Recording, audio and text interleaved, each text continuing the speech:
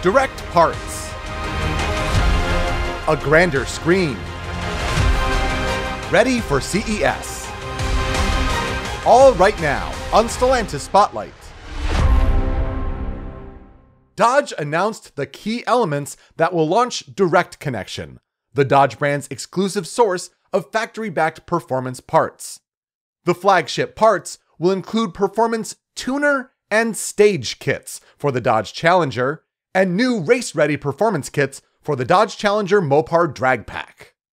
The entire parts catalog is now available for viewing online at Dodge's website, with a hotline also live now with technical support, straight from the performance experts. Ordering parts from Direct Connection will open late in the first quarter of 2022.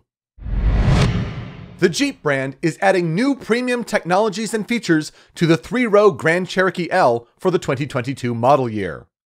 The biggest additions include a segment exclusive 10.25 inch front passenger interactive display and dual 10.1 inch rear seat entertainment displays with built in Amazon Fire TV.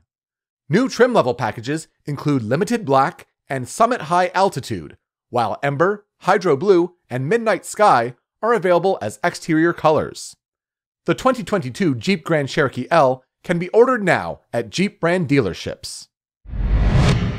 And finally, CES 2022, the world's preeminent technology event in Las Vegas, Nevada, is the ideal setting to showcase Stellantis' capabilities today and preview the future in advanced electrification, interior cabin technology, autonomy, and connectivity. For those who can't make it to Las Vegas in a couple weeks, a virtual experience will be available online, allowing viewers to check out elements of the Stellantis stand, such as the debut of the Chrysler Airflow concept. The virtual experience goes live on January 5th at StellantisCES2022.com.